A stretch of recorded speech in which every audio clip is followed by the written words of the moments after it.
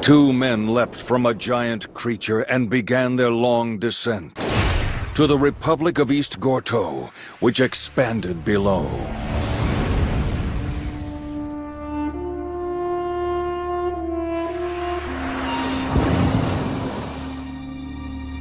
Guards caught sight of what it was.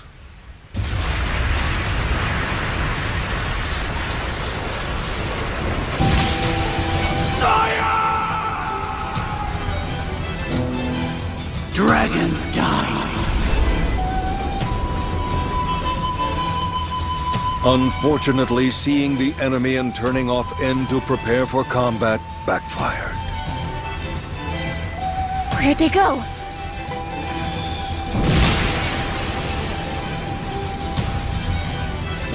All six of Pitou's senses, honed to a razor's edge in the face of a menace to the king, made finding the invaders quite an easy task indeed. A far greater threat than this countless rain of dragons was this human in the sky.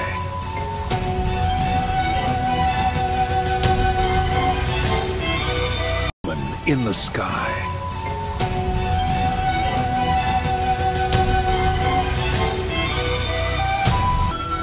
But that was a bad move, little ant.